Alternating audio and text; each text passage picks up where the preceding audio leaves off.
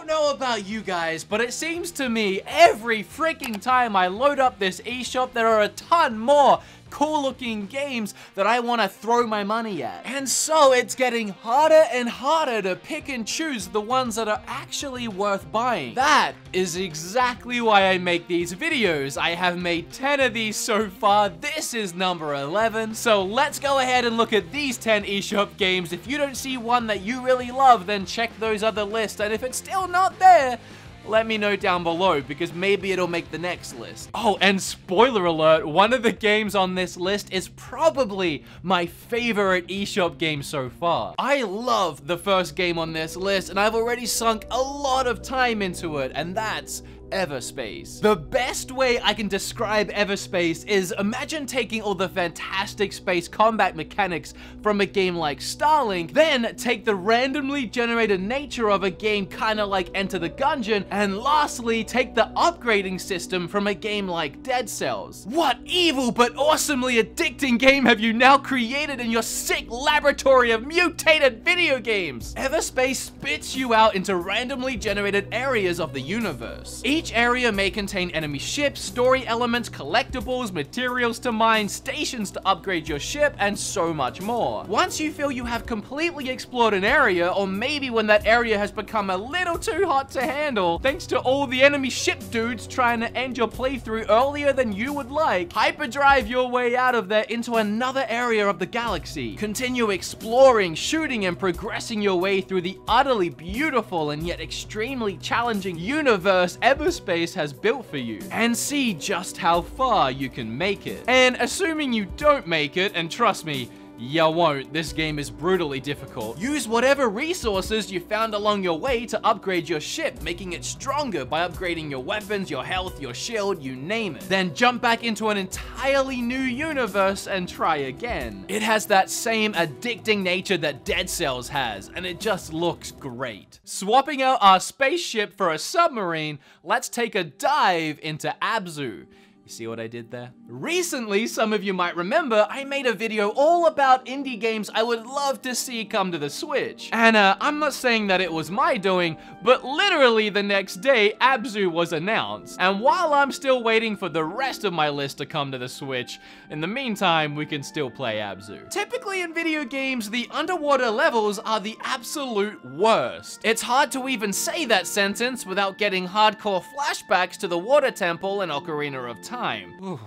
I finished that game like 17 times and I still get stuck in that temple. However, Abzu takes place completely underwater and manages to be an absolute joy to play from start to finish. And in large part, that's really thanks to there being no threat of running out of air or ever being eaten by a shark. Rather, there is no danger to be found in the waters of Abzu. You are left completely alone to explore the remarkably beautiful underwater world that this game has created. There is so much life to be found in the water, from massive schools of fish to huge freaking whales. The amount of dense life to be found surprised me when I was playing this game on Xbox and PlayStation 4 that the game didn't chug or slow down in frame rates at all. And now to be playing it on my Switch and have it still run this beautifully is just so impressive. The visuals coupled with the music and the exploration, this game feels like an underwater journey. This game is pretty short and with it being exploration focused with no real real challenge on the way. For some of you, it might not be worth the price tag, but for me, it's that exact open freedom that makes it an experience I wouldn't want to miss out on. There are quite a few games on this list fighting for best art direction, but in my opinion, I think my favorite has to be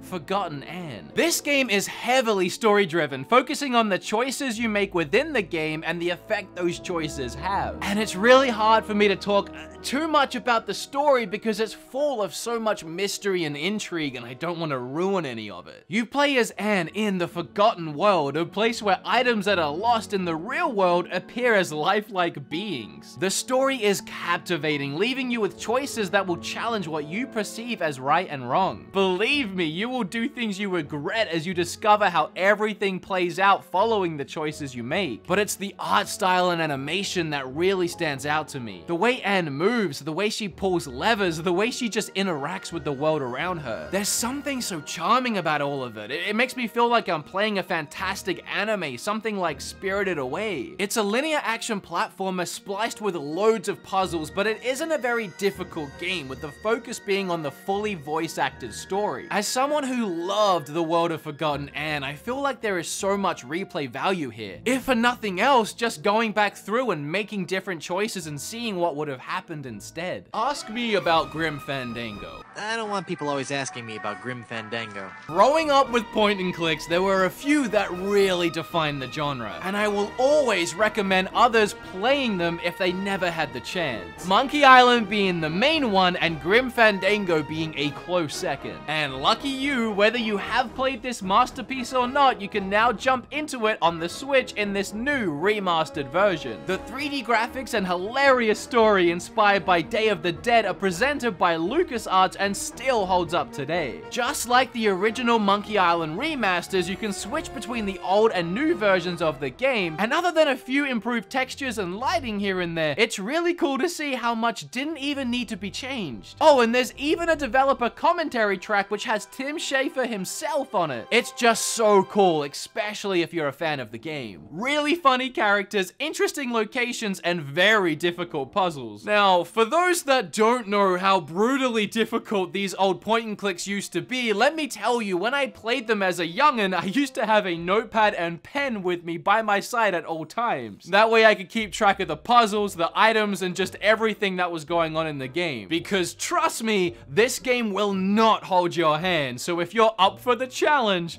I recommend trying it out. This War of Mine is a game about war, but you don't play as a soldier or any kind of military. Rather, you play as the victims of war, doing their best to survive day to day in a land torn apart. You create your own character's story by playing the game and the decisions you make along the way. And those choices, coupled with just the rest of the game, it's, it's just so dark and depressing. You start with a set of random survivors, each with their own special skills. Utilizing these skills are key to your survival. Giving someone the wrong task might not only spell their end, but your own as well. However, utilizing each character's skill correctly can help support your entire base of survivors. Collected items throughout the game can be used to create helpful objects like a bed for your characters to sleep on. And again, certain characters' abilities can lead to them being able to craft bigger and better things. At nightfall, you scavenge for supplies, and it's always a delicate balance between who you take to scavenge and who you leave to rest or keep watch. And if you're lucky, the place you scavenge will be abandoned. And if it isn't, you have to decide whether or not you want to steal from those that live there. And that choice isn't always an easy one. At the start of the game, you'll probably find yourself not stealing from anyone, but as the game goes on and your characters are starving or in immediate need for medical attention, you might find yourself stealing from people people who are probably in the exact same position that you are. So in these situations, at what point do you start breaking your own moral code? This is a very in-depth and complex game, and I wish I had more than just this little part of the video to flesh it out. It's not a game for the faint of heart. Even the art style, while fantastic, is just very depressing. But even still, it's another game that's just worth experiencing for yourself. At this point, we've seen quite a few mobile games find pretty big success on the Switch. But Superbrothers is such a wonderful adventure that really stands out to me as more than just a mobile game. Not to say that mobile games are inherently bad, but none have really ever caught my eye like this one. Its gorgeous visuals are often referred to as pixel art, but honestly, I'm hesitant to actually call it that. To me, it's an art style all to itself, something I've never really seen before. And yet, Superbrothers has seemingly perfected its own original art style at the same time as creating it. I suppose you could say the art style is minimalistic, but the more I look at every piece of scenery in this game, the more and more details in the world are jumping out at me. The sound design and the music will also surprise you. It's incredibly eerie and just wonderful. Every sound in this game enhances the experience. The gameplay focuses on puzzles that you discover while exploring the world and paying attention to all those small details. Like maybe something in the reflection of the water doesn't actually exist on what it's reflecting. Paying attention to your surroundings is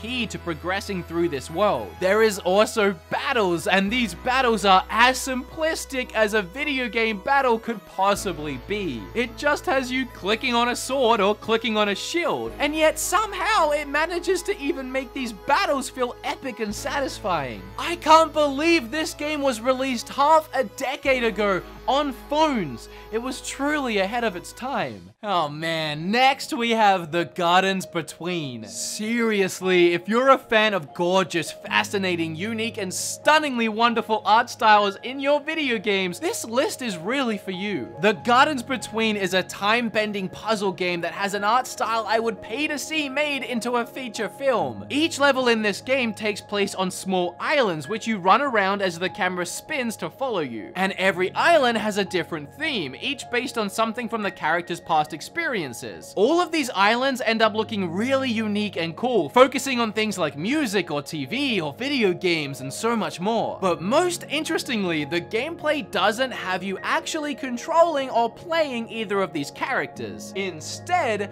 you control time, rewinding wherever needed to draw the character's attention on certain objects or parts of the world. Guiding them around this way is how you complete puzzles and progress to the end of each level. In this way, it kinda reminds me of a weird splice up between Fez and Braid, but with a much more pleasant visual style. Not knocking on the way the other two games looked, because they looked great, I just love the way this one looks. Honestly, I just wish the game was a little bit longer. I'm not sure if everyone will consider it worth the price tag, but for me, the game left a lasting impression. It was well worth my money, and if nothing else, it's worth marveling on the art style. Nidhogg 2 is a game that I ummed and awed about actually putting on the list. Do you guys remember that one game that essentially had two stick fighters with swords trying to stab each other? I had completely forgot that game existed until I saw this, which is apparently its sequel. Weirdly, it looks nothing like the original. Uh, I think I preferred the more simplistic art style rather than this frankly grotesque character designs. I do like the new style as well though. Character designs aside, the world in the background looks fantastic. And as I said, I did have some mixed feelings about throwing the game on the list, but I decided to for two reasons. One, it adds some variety to this list for sure, and two, you can't help but laugh yourself stupid playing a game like this with your friends. I would say it falls into that it's so bad it's good category. You and your opponents both die in one hit, and that hit can be delivered in many ways, like the stab of a sword or copping a thrown dagger to the face. And your goal is to reach the end of each level. However, it's also your opponent's goal to reach the other end of the level. The only thing standing in both of your way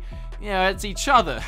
and that's truly where the funniness comes into play. Perfectly parrying your enemy's attack and delivering that killing blow is made that much more intense when it means you get to make up some extra ground towards the end of the level. That constant tug of war style back and forth can be exhilarating and as I said, can lead to a lot of laughter as well as a ton of frustration. Next on the list is a game called Gris and I'm sorry, I cannot get over how beautiful the game games look today. I don't know how these developers create such unique and gorgeous worlds again and again. Love or hate the games on the list today, you cannot deny we have seen some talented artists at work, and Gris is no exception. The entire game may as well be a series of radiant watercolor paintings. While platforming throughout the dazzling environments, you will solve puzzles while being treated to a soothing soundtrack. Again, this is yet another game I relate to Journey, with the focus being on the evocative experience experience free of stress or difficult challenges and instead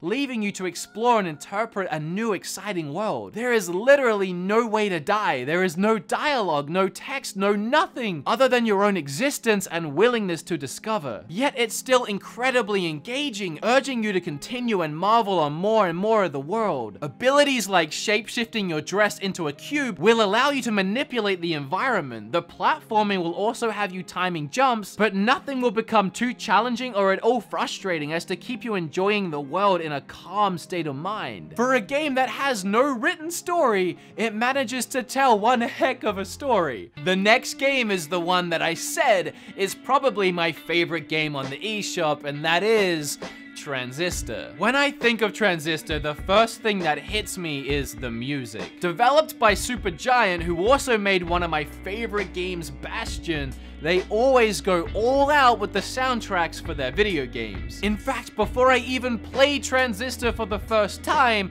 I was already very familiar with its music. I had already been listening to it on repeat the weeks leading up to playing. Next to the music, it's the hand-drawn art style of Transistor that steals my heart. Set in a futuristic dystopia, the cyberpunk visuals are heavily inspired by classic anime. Every location is breathtaking, every character design is unique and interesting, and all of this before we even get to the brilliantly smart and engaging gameplay the game has to offer. You play as a lounge singer named Red who has had her voice stolen. Armed with a talking sword, you set out on a mission to regain her voice. The combat is extremely rewarding, with the real fun being the ability to freeze time and strategically plan out your moves. Then, once you restart time, you get to watch the moves you selected either fail or succeed, and that is a thoroughly addicting gameplay mechanic. But don't worry, you still need to apply quick real-time reactions throughout the combat, which combine strategy and action gameplay in a perfect way. And the depth of the game grows when it comes to unlocking abilities, each of which can be used passively, actively, or used to augment the strength of another skill. Transistor has so much to offer, and I absolutely adore this game. I cannot recommend it enough. Along with all of Supergiant's games. There's a new one coming as well called Hades, and I can't wait for it.